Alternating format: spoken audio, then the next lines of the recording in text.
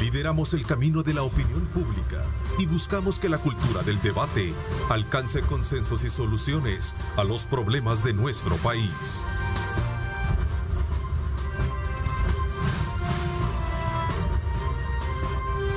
Diálogo con Ernesto López. Son las 6 de la mañana con 32 minutos. Como siempre, un placer enorme saludarles a ustedes a esta hora de la mañana agradeciendo a Dios Todopoderoso por darnos ese privilegio de poder ingresar hasta la intimidad de sus hogares. Gracias por dispensarnos ese voto de confianza, ese grado de credibilidad, Grupo Megavisión. Quiero darle la más cordial bienvenida a una persona a quien quiero muchísimo y a quien quieren muchísimo, ¿verdad? Y una persona de mucho respeto, como es el pastor del Tabernáculo Bíblico Bautista el doctor Edgar López Bertrán Jr., Qué conocido como el pastor Toby Jr. Bienvenido, pastor. Ernesto, muchas gracias, amigos de Canal 21. Gracias por el privilegio. Siempre nos informamos y siempre estamos viendo esos debates y esos análisis semana a semana que nos enseñan mucho. Hoy, en un día tan especial, donde estamos honrando a aquellos que ya partieron. Pero es importante recordarlos de la mejor manera y por eso hoy traemos y traemos palabras de aliento, Ernesto, no palabras de lamento. Alguien dijo en una oportunidad que un año es duelo, dos años son depresión. Y este tipo de cuadros se presentan cuando no conocemos a qué estamos expuestos o para dónde vamos. Uno de los consuelos más grandes que tenemos, Ernesto, en la Biblia, que es la palabra del Señor, y muchas personas me dicen, yo quisiera que Dios me hablase, yo quisiera que Dios me diga algo. Y nosotros los pastores, específicamente los evangélicos, le decimos, acérquese a la palabra. Y dice, pero yo quisiera escuchar la voz de Dios. Y le digo, lea la Biblia en voz alta. Pero ese libro maravilloso tiene varias citas que nos pueden ayudar a entender qué es lo que está pasando hoy. El primero de ellos es que nadie es eterno. La naturaleza misma nos lo dice, vamos a nacer, crecer, reproducirnos y luego pues morir. Aquellos que están con Dios, pues a su presencia y los que no, pues sabrán lo que la Biblia dice al respecto. Pero en un día como hoy queremos animar a todos aquellos que lloran a que celebren. Hace poco, Ernesto, con este problema del COVID hemos tenido grandes pérdidas en la congregación grandes líderes, hermanos, servidores, eh, personas que iban al tabernáculo regularmente y están en la presencia de Dios. Y una de las características, si usted lo ha observado, y no es una falta de respeto, es que cuando va a un funeral cristiano es muy distinto a los funerales que no lo son. En este caso nosotros cantamos alabanzas, recordamos la vida de la persona y agradecemos a Dios el privilegio de habernos dado la vida. Y esa es la velocidad en la cual necesitamos ir hoy a los campos santos. Bueno, que no es fácil eso realmente, o sea, cantar en medio de la muerte de un ser querido, ¿no? Pero no lo cantamos por rebeldía, sino porque la Biblia nos dice, claro. cuando estés triste, canta alabanzas. Hay una cita en la Biblia, específicamente todo el libro de los Salmos, que es el himnario de los hebreos, Ernesto, era lo que ellos hicieron a lo largo de diferentes etapas, muchas de ellas de cautiverio. Hay una canción muy famosa de Earth, Wind and Fire, creo que ellos la cantaban, no recuerdo si son ellos, By the Rivers of Babylon, por los ríos de Babilonia, eran las favoritas de papá mío. Y esto estaba escrito en la cautividad babilónica y ellos vienen y recuerdan estas cosas. Entonces, las alabanzas que no son para los hombres, que no son para recordar un amor perdido, sino para reconocer la soberanía de Dios, traen consuelo al luto que nosotros podemos estar viviendo. Si yo amo a ese ser querido, yo estaría celebrando, Ernesto, que ha sido recibido en presencia de Dios. Ahora, usted mismo lo dijo, no es fácil. ¿Para quién no es fácil? Para el que no conoce quién es Dios. Ahí es mi insistencia, que usted y yo debemos de conocer a Dios. Para los hermanos católicos, cuando ellos conocen su catecismo, cuando ellos conocen en lo que la iglesia cree, les es más fácil entrar por estas puertas. Pero aquel que dice, pastor, yo soy católico, pero sí llego, pero no voy y no conozco, sufre. Pero el que conoce, el que lee, el que se empapa, no ser religioso, sino a Dios, tiene esa bendita semilla de esperanza. y hay católicos así. Yo los he conocido. y, hay muy buenos practicantes. Bueno, tenemos amigos en común que son grandes católicos. Digo, mira, qué bueno. La idea es, como le digo, Están mucho más reconfortados que quizás nosotros que, practicamos la asistencia a la iglesia evangélica. ¿Por Pero decía un médico una vez, y perdón un poco la combinación de esto, me decía, bueno, me dijo, ¿y por qué tenés miedo a morirte? Me dijo. Exacto, exacto. y un gran católico, es un médico muy reconocido de mucha trayectoria. Trayectoria en urología, él sabe de quién estoy hablando, no digo su nombre. No voy a preguntar por qué lo conoció Ernesto, pero, no, no, yo siempre he padecido de los riñones. Sí, señor. Pero, pero también... Sí, no, eh, sí, estamos en la sí, línea. sí. El punto es que él me decía, y, y que no sos... y- Cristiano. y que no sos cristiano, me dijo. Totalmente, totalmente. Yo lo he pensado. Mi papá decía cuando estaba predicando, mi Un padre partió. católico me digo, ¿y que no sos cristiano? ¿Y para qué? Y no al morir vamos a la presencia de Dios, man? ¿Cuántos saben que vamos al cielo? Decimos en las iglesias O sea, evangélicas, que es el caso es... No, y Sí, todo el mundo dice amén, amén. Y un preguntaba, poco el- reforzando el planteamiento que estaba haciendo usted. ¿cuántos se quieren ir hoy? Hacen la pregunta. Mm. O sea, la Es que, es que no nos queremos morir. Totalmente de A acuerdo. mí en lo particular, si me preguntan por el tema de mi paso alrededor de la experiencia del COVID, o sea, yo no quería morirme. Toda mi, toda mi, todo mi estado, porque ese estado de, de dos conciencias a la que yo, al- a la- en la que yo experimenté, era una en la que hablaba, bueno, entiendo que me habló usted. Yo le llamé por teléfono y estaba usted conectado, oxigenando muy bajo. Entonces, yo sí, bien difuso aquello. Pero en el otro sí estaba en la oscuridad, siempre preguntándole al Señor, ¿por qué no te veo? Si siempre te he visto. Voy a hacer una observación siendo respetuoso. Como respeto respetuoso, que se decía antes del Señor. Mire, cuando uno dice no me quiero morir, es porque cree que tiene la capacidad de hacer las cosas mejor que Dios. Ponga atención a esto, porque yo estoy igual que Ernesto en esa línea. A mí si me dice, mira Toby, ¿te querés morir hoy? Yo diría, déjame un ratito más. Y el Señor me preguntaría, ¿para qué te querés quedar? ¿Mm? Cuando yo le digo al Señor, no me quiero morir, me quiero aferrar a la vida, es porque quizá no tengo la dimensión ni el conocimiento de lo que Él es la vida eterna, su presencia, su gozo y su paz. Pero cuando yo digo no me quiero morir, estoy peleando, yo estoy descubriendo en esto mi propósito. Y le hago una pregunta. ¿Quién fue el Ernesto López antes de la pandemia y quién es Ernesto López después del COVID? Es otra persona, Es otra persona. quiérase o no. Pero bien, el temor a la muerte es porque creemos que la muerte es una persona. Habían bayuncadas que cantamos en la escuela, estaba la muerte sentada un día dividida. Ah, sí, Va, sí, ok. sí. Cu- La muerte es un estado, no es una persona. Ponga mucha atención porque esto es importante para la fe cristiana y no cristiana. La fe es un estado. Y en este estado de la muerte no hay nada que usted pueda hacer por cambiar lo que ya está escrito. No hay nada que usted pueda hacer por cambiar lo que viene. Las decisiones que estamos, Ernesto, tomando en vida son las decisiones que nos garantizan esa vida eterna que la palabra dice. Mire, Ernesto, si después de esto no entendemos que la vida es un regalo de Dios, y voy a ir bien profundo, y estás queriendo seguir abortando criaturas, con ese libertinaje diciendo mi cuerpo, mi templo, está bien equivocado. Solo quiero que veas como un pequeño virus, y lo digo así de una manera exagerada, puso en pausa al mundo. Me duele el alma caminar por todo este sector, local en alquiler, edificio en alquiler, negocios cerrados. Entonces Ya- nos damos ya cuenta. vamos a hablar de eso. que, porque ese es Ernesto, otro dolor, ese es otro dolor. A nosotros nos Estamos hablando del dolor inmortal ahora. es, de la vida, ¿verdad? De, la vida, hoy en el marco de el Día de los Difuntos y que sé que muchos van a enflorar, otros que no van a poder, pero, pero hay una secuela No, también papá. de dolor, En- de impotencia de aquellos que a lo mejor usted está de saco elegante acá, igual que este servidor. Pero otros Afuera, allá afuera es. no tienen trabajo es, y tienen hijos totalmente y tienen que darles de comer. Ahora, ¿Cuál es el milagro más grande?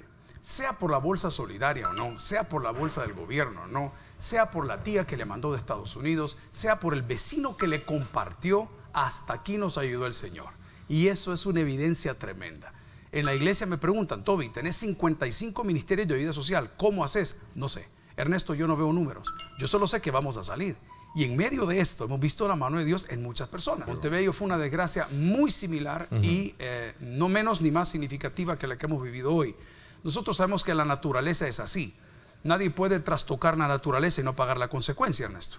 O sea, hay una ley de la, la siembra y la cosecha de- en todo sentido. Desde la manera como estamos haciendo calles, estamos haciendo casas, Sí. estamos haciendo, colonizando lugares que no fueron diseñados para eso, va a tener un efecto secundario. Ir más amplio, calentamiento global. Si es bueno o no es bueno, mire, todas las evidencias nos dicen que estamos terminando con nuestra naturaleza.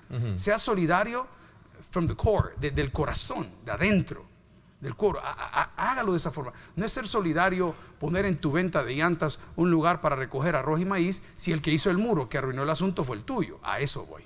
Estos golpes de pecho, perdóneme como pastor, a mí sí me molestan porque todo el mundo quiere el momento, la noticia. ¿Y por qué no prevenimos? po? ¿Y por qué no hacemos las cosas en orden? ¿Por qué no vemos y vamos a OPAMS y veamos los permisos que han dado de construcción en esa zona y comenzamos por ahí?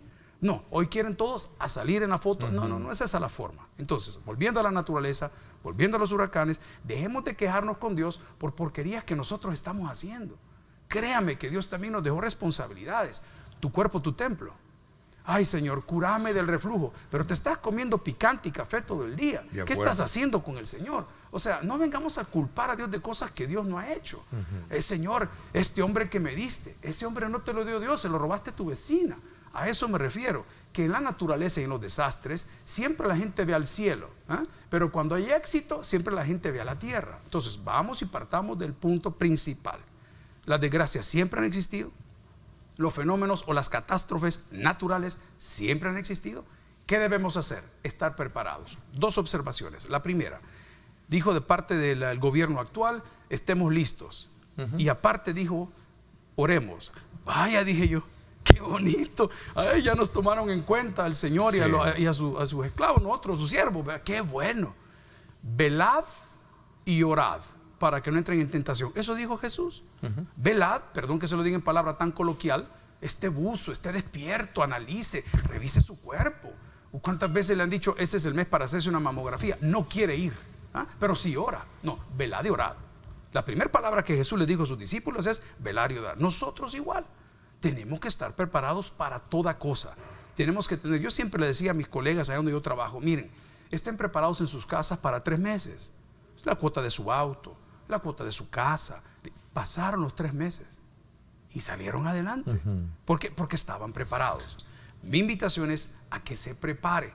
Yo estuve, Ernesto, viviendo en Florida por algunos años y una de las cosas más difíciles que viví se llamó Huracán Andrew. Véalo por favor allá por los años 93 y algo, 92, 91. Eso arrasó todo el sur de la Florida, entre otros también. Pasar esa situación a mí me dio una idea de qué es lo que puede venir. Digo, estábamos preparados. Allá en Florida las casas tienen eh, window shutters, eh, cosas para cerrar las ventanas, ya, ya están preparados. Entonces, Jesús nos dice en el Nuevo Testamento, velad y orad para que no entréis en tentación. La palabra tentación no es pecado, no piensen en gente, no. La palabra tentación es abandonar la fe abandonar la fe en Cristo para poder ir dando esa batalla. Esas imágenes que están ahí, wow, vea eso, yo creo que son las imágenes esas. Eso es lo que puede ser un huracán literalmente en cuestión de segundos. No sé si estas imágenes, eh, corríjame productor, estas son las actuales de, de, Andrew, Andrew, el sur de la Florida. Un poquito de la historia. Nosotros vivíamos ahí en Kendall Drive y la 107. Y quiero que vea eso porque eso sucedió en cuestión de dos o tres horas. Y ponga atención, cuando pasa el huracán, lo primero hace esto, pero después viene un, segmento, Ernesto, que se llama el ojo del huracán. Eso nadie lo entiende. El ojo del huracán es una, una aparente paz. No hay nada. Usted ve el cielo, está azulito, pero viene la cola. Acuérdese que es una dona. Entonces entra el, el pecho, arrenta. Luego entra el ojo. Y usted dice, ya pasó todo. Y la gente se confía y vuelve a salir. Pero falta la cola. Eso es un desastre bueno, yo estaba tomando clases de vuelo allá en abajo de, de, Perrine y ese aeropuerto quedó completamente arrasado. Aquellos que estábamos estudiando en aquel entonces eh, quedamos en la calle porque se triplicó los costos. Eso eh, fue FEMA, FEMA se llama allá en Estados Unidos o FEMA, es ese fondo que dan para poder ah, ayudar a la gente. Ayudó a muchas personas de los que vivimos ahí por años. Pero ¿Por qué a mí? Eh? Me encanta lo que dice Ernesto cuando dice que la gente deje de creer en las iglesias. Esa es una muy buena decisión. Crea en Dios no cree en la estructura, no cree en el templo, no cree en la tradición, cree en Dios. Porque ni la estructura, ni el templo, ni la tradición puede hacer lo que Dios hace. Se lo voy a poner con un fundamento bíblico en cualquiera de las versiones de la Biblia. En el Evangelio de Juan, capítulo 14, versículo 6, Jesús mismo le dice, yo soy el camino, la verdad y la vida, y nadie viene al Padre si no es por mí. Ernesto planteaba que hay muchas personas que por los acontecimientos que han pasado o han sucedido en sus vidas o suscitado, se resienten para con Dios, olvidando que fue Dios quien les perdonó la vida, olvidando que fue Dios quien les dio la vida. Eh, una persona que está en presencia de Dios no tiene resentimiento para con Dios, pero usted y yo que quedamos con vida tenemos un propósito. Ahora bien, es necesario resurgir y replantearnos. Número uno, valores y prioridades. Como lo decía con anterioridad, muchos de nosotros que hemos trabajado en el ámbito religioso o en una iglesia, estamos tan apasionados por nuestra marca, estamos tan apasionados por nuestro templo, estamos tan apasionados por nuestra estructura y nuestras cosas que perdimos la pasión por Dios. Dios nos hace y nos pone una pauta, ya sea por enfermedad, por necesidad, por lo que haya sucedido o suscitado, y ahora cambiamos de prioridades y nuestra prioridad es Dios. Debo de recordar que Dios no abandona y que Dios es un Dios de segundas oportunidades. El día de hoy sería maravilloso poder honrar a Dios y a nuestros seres queridos ya pasados a la presencia de Dios haciendo lo que a ellos les alegraba. Ernesto, cuando usted habló de la visita a los lugares santos, donde están los, nuestros familiares, yo siempre se lo digo a mis hermanos, tengo dos hermanos menores y tengo dos hermanas mayores, somos cinco. Él decía, mire, la mejor manera de honrar a nuestro papá, que se murió hace tres años, no es llevándole ni un arreglo floral, ni llegando a pulirle la placa una vez al año, ni cheleando con cal la tumba, es haciendo lo que ellos nos enseñaron. Tú quieres honrar a tu papá, anda a dejarle tu título universitario. Tú quieres honrar a tu papá, anda a enseñarle tu partida de matrimonio, deja de vivir en adulterio o en fornicación. Tú quieres honrar a tu papá, deja de robar y deja de mentir. No honres a tu papá con flores de mentira porque hay mucho zancudo, ni con flores de verdad porque son bien caras. A los padres no se les honra con cosas, a los padres se les honra con obediencia. A Dios no se le honra con cosas, a Dios no se le honra con ofrendas y con grandes entregas altruistas. No, Señor, a Dios se le honra con obediencia. Y la obediencia siempre trae bendición. Es mi invitación el día de hoy que después de esta pandemia o la que estamos atravesando, ahora con este fenómeno natural, cambiemos nuestras prioridades. Honremos a nuestros seres queridos de la mejor manera. En otras palabras, Jesús lo dijo. Amen a Dios sobre todas las cosas, como le dice Ernesto López, y ame al prójimo como a usted mismo. ¿Lo que está ocurriendo es el fin de la historia de la humanidad? Qué buena pregunta. Dos cosas. Lo voy a contestar con la Biblia. Usted conoce el Nuevo Testamento y el Antiguo Testamento, ¿ok? En la Biblia Reina y Valera, que es una traducción de la Biblia, la Biblia fue escrita a lo largo de 1400 años por 40 autores diferentes, inspirados por Dios. La Biblia no se contradice, está totalmente de acuerdo con los acontecimientos que están sucediendo hoy. Hay un texto en el libro de Hechos de los Apóstoles, que debió llamarse Hechos del Espíritu Santo, por cierto, que dice, no os corresponde a vosotros saber las sazones que están en sola potestad del Padre. Ernesto, uno de los juegos más arriesgados de la iglesia es decir lo que la Biblia no dice. Número uno. Número dos. Hay un principio de interpretación bíblica, los que les gusta la teología lo entenderán, que dice, cuando la Biblia calla, nosotros callamos. Yo fui criado en un lugar cristiano evangélico bautista y se predicaba mucho de escatología. Asambleas de Dios, le gusta mucho la escatología. ¿Qué es escatología? Eventos del porvenir. Le hago una pregunta. Si no se puede ni su número telefónico, ¿para qué quiere saber qué va a pasar pasado mañana? la historia de la escatología, desde, eh, bueno, en, el Apocalipsis o Revelación, lo único que me está diciendo el libro Apocalipsis es que el bien triunfará sobre el mal. No es que si el cacho número 7 de la bestia número 5, del, del templo número 6, hermano, gloria a Dios por lo que les encanta. El mensaje de la Biblia es el amor de Dios a través de todos los tiempos y la esperanza de la salvación que hay en él. Pero poderme a jugar con eso, Ernesto, ¿sabe qué causa? División. ¿Sabe qué causa? Diferencias, grandes diferencias. Y hay gente que se atreve y hay escatólogos, a quien admiro, doctor Armando Alducin. Usted quiere escuchar a alguien que se. Búsquelo, googleelo. Por favor, no, no crea lo que yo le digo escúchelo, pero nunca lo haga como esoterismo, nunca lo haga como ocultismo, no, cuidado, porque hay ciertas cosas, Ernesto, que solo están en la potestad de Dios. Si Dios hubiese querido que nosotros tuviésemos los pequeños detalles de estas cosas, estarían escritas en su palabra, la Biblia. Bueno, Armando Lucín es un erudito tremendo. Eh, tremendo Usted sabe que él era ateo, ¿no? En esto, así. y se convirtió a Dios. Bueno, para, para, aquellos que están ahí peleando con ese problema. Eh, es un mexicano, pastor, eh, que creo que tiene mucha, tiene mucha eh, consistencia en sus predicciones, en sus predicaciones. predicaciones. Walter eh, Mercado, el de las predicciones. sí, perdón, que lo estaba, el lapsus que tuve. no, no, igual, pero es cierto. Sumaba, sumaba un poco eh, este tema porque en ese momento cuando ocurre la pandemia se paraliza el mundo. Tremendo.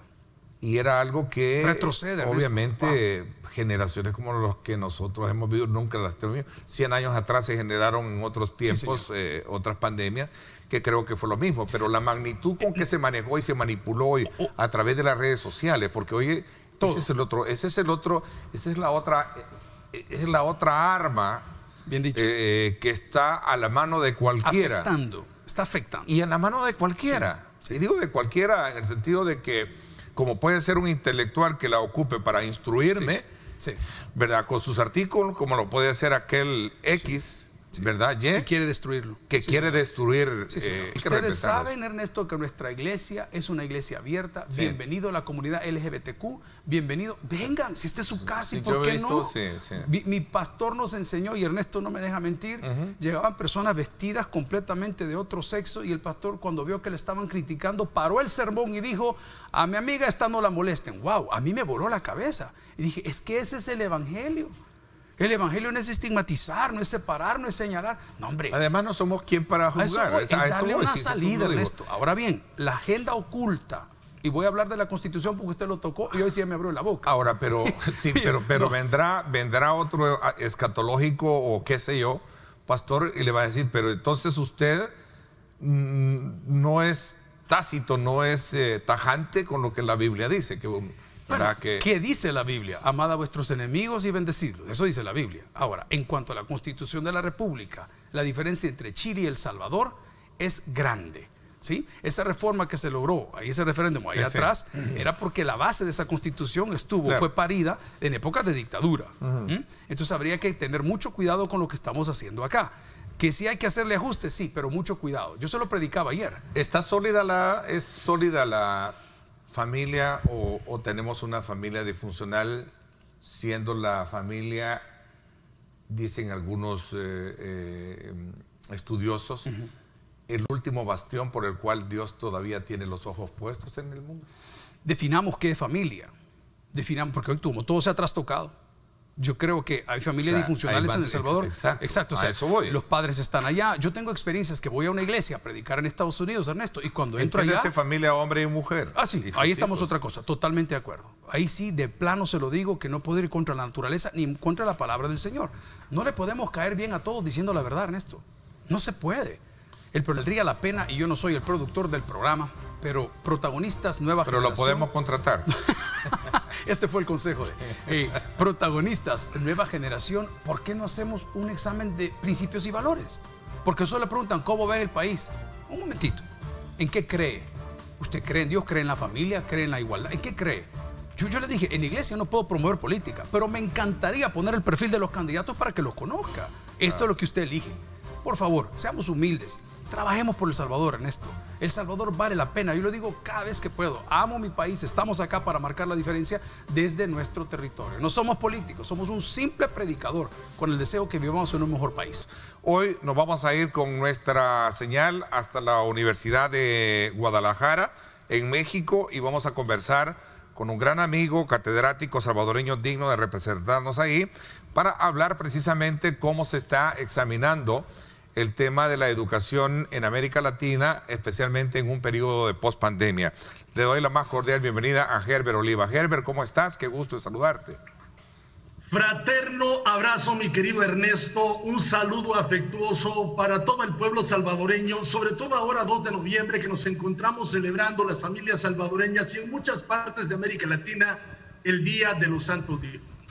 Este es un día- verdadero gusto poder compartir contigo y es eh, un beneplácito enorme el poder eh, tratar de hacer alguna elocución sobre este análisis de lo que implica la educación en tiempos de pandemia. Así es. Saludos Eh, fraternos. Entiendo, entiendo, Herbert, que este día en México es una fiesta tremenda nacional. ¿Eh? Efectivamente, pero lo que yo te quería hacer alusión, mi estimado Ernesto, es algo que el pueblo salvadoreño debe de tenerlo claro. Es muy fácil, y lo digo de manera muy categórica, criticar el emitir opinión, sobre todo cuando no se conoce el interior de la escuela salvadoreña.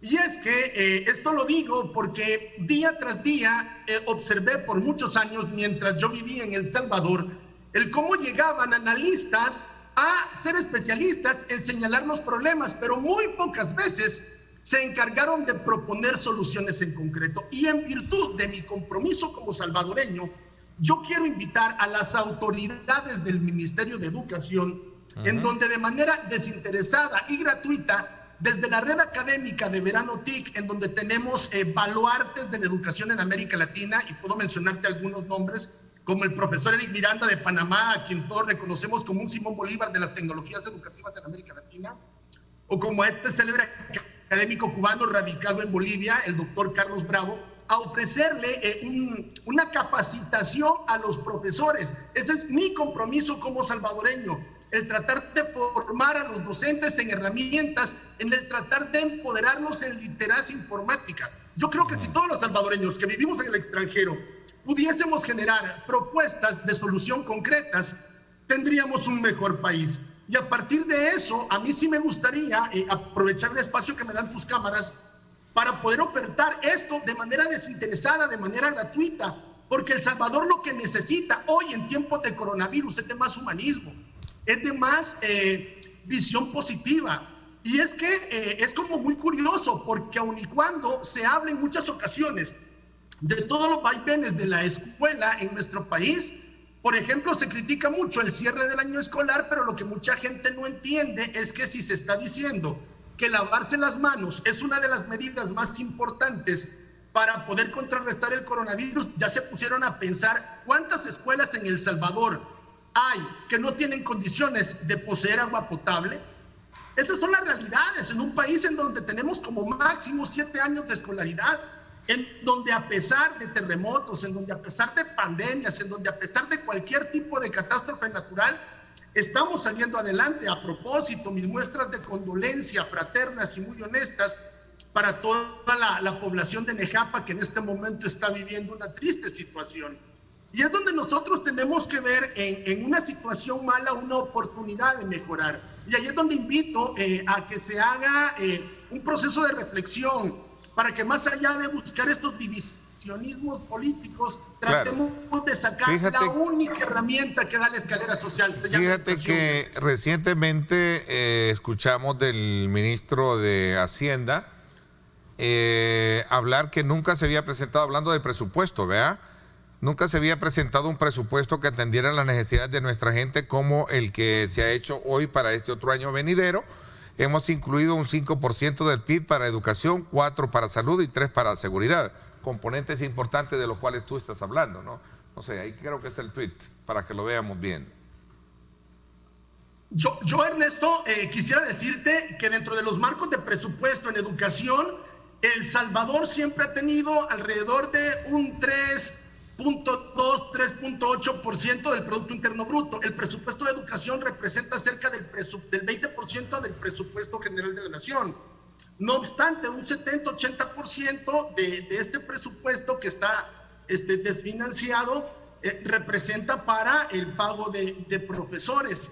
Yo sigo insistiendo que con buena voluntad, que con sinergia, pero sobre todo este, tratando de generar propuestas concretas. Y es que yo sigo creyendo que para los que trabajamos en el contexto educativo, el señalar problemas es fácil, sobre todo hablar de escuela pública cuando tienes a tus hijos estudiando en lo privado. Y es que eso también se vuelve como, como muy, muy curioso, porque yo, yo lo digo en muchas ocasiones, es que a veces los grandes tanques de pensamiento, y, y lo digo de manera muy enfática, no terminan de conocer la realidad salvadoreña, pero sí es muy fácil criticarla. Y ahí es donde yo trato de decir, no, es importante que la gente entienda que la docencia salvadoreña necesita retomar ciertos baluartes fundamentales como los que tenía la escuela normal. La escuela normal salvadoreña tenía profesores con vocación, con mística. Y yo creo que no hay que decir mucho sobre el rumbo de las políticas educativas y las autoridades de nuestro país ya tienen definido qué es eh, lo que se debe de, de hacer en el tema de educación y es que deben de responder a la Constitución en su artículo 55, el cual perceptúa que la educación tiene por fines lograr el desarrollo integral de la personalidad en su dimensión espiritual, moral y social, tratar de, de contribuir como salvadoreños a la construcción de una sociedad más democrática, más próspera, más justa y más humana. Y a partir de eso yo puedo ver, por ejemplo, la pérdida de valores humanos. Y es que tenemos una generación hoy en día que está más preocupada por dejar cargando el celular que por darle gracias a Dios por un nuevo día. Por ejemplo, en México, para que tenga más o menos una idea del pueblo salvadoreño, como consecuencia directa del COVID, de marzo a junio, la juventud, la niñez mexicana estuvo expuesta a cerca de 36 mil horas de contenido violento. Y es que esto ya no nos asusta sobre todo cuando estamos viendo en los medios de comunicación, específicamente en algunas plataformas de streaming, el contenido televisivo en donde se te invita más a, ser narcotraficante que a culminar una carrera universitaria. Insisto, necesitamos más regresar al empoderamiento de los valores, a esa visión axiológica que le da a la escuela el lugar merecido para la construcción de tejidos sociales. Ok. Eh, Herbert, hay una, hay una, digamos, luz del, en el camino que nos pueda indicar que cerramos el ciclo económico, el ciclo educativo de manera tal y como se había proyectado o realmente eh, también la pandemia nos afectó este año en el tema educativo. A eso quería llegar. Claro que sí, o sea, nadie puede negar de que en términos de... La calidad, me refiero a la calidad educativa proyectada para este año se cierra tal y como lo habíamos eh, proyectado o verdaderamente salimos afectados? Salimos afectados en términos de eficiencia y eficacia educativa. ¿Qué quiere decir esto? Que eh, vamos a ver eh, buenas cuotas de estudiantes que van a, a sufrir deserción, probablemente no están aprendiendo como deben de aprender, insisto, cuando preparamos el año escolar en enero o en febrero, lo hicimos pensando en planificaciones didácticas, lo hicimos pensando en una presencialidad. Nadie estaba preparado al mejor estilo de Frank Kafka para esta metamorfosis. Y es que eh, tenemos que reconocerlo, que a pesar de que las tecnologías educativas estuvieron siempre presentes en la palestra eh, formativa, muchos profesores no se quisieron subir al, tren de la vanguardia, al tren de, de la actualización. Ahora nos hemos tenido que ver en la necesidad forzosa de que el profesor que no aprende literacia informática obviamente se queda fuera del contexto. Para que tengamos más o menos algunas cantidades muy claras, teníamos eh, al cierre del gobierno anterior, si mal no recuerdo, Francisco Castaneda, en su calidad de viceministro, hablaba en un discurso de que su gobierno había eh, compartido cerca de 120 mil computadoras de las denominadas Lempita, que tenían una planta de de armazón acá en Zacatecoluca. Pero si se percatan, en un discurso presidencial para el cierre de su gestión, el profesor Sánchez Serén hablaba de 70 mil computadoras.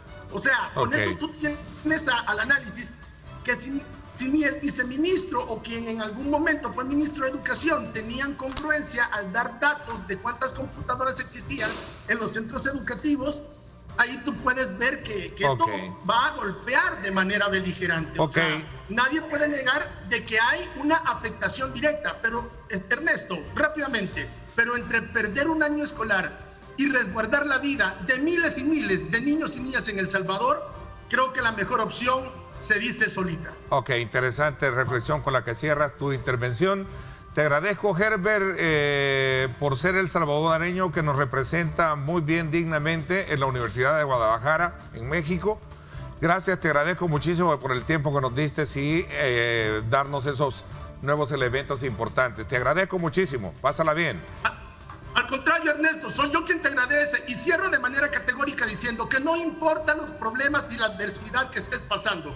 Recuerda, querido amigo salvadoreño, caminando de la mano de Dios, todo lo puedes. Regala mi lectura bíblica favorita, Filipenses 4:13. Todo lo podemos en Cristo que nos fortalece. Un abrazo cargado de energía positiva, Ernesto. Bendiciones masivas para todos. Te agradezco muchísimo. Igual me despido con, no sé si tenemos la imagen que pedía el productor del comportamiento que tiene precisamente la tormenta y ya huracán ETA, que está precisamente bien eh, identificado en el sector de las eh, costas de Nicaragua, donde tenemos precisamente ahí eh, todo este impacto por el cual podría ingresar. Ahí tenemos estas imágenes y Dios quiera pues que no nos vaya a eh, golpear fuertemente en su trayectoria como se presenta hasta este momento este fenómeno natural que se espera que el día martes o, ya en horas de la madrugada de este lunes pues podamos tener el ingreso. Vamos a estar muy a la expectativa. Eh, equipos de Grupo Megavisión están atentos, estaremos atentos a llevarles a ustedes, Dios quiera no ocurran mayores desgracias de las que ya hemos tenido hoy en día. Pásenla bien y sobre todo pues los espero en radio hoy a las 7 de la noche con importante información. Gracias, pásenla bien y recuerden lo más importante, amar a Dios sobre todas las cosas. Lideramos el camino de la opinión pública y buscamos que la cultura del debate alcance consensos y soluciones a los problemas de nuestro país.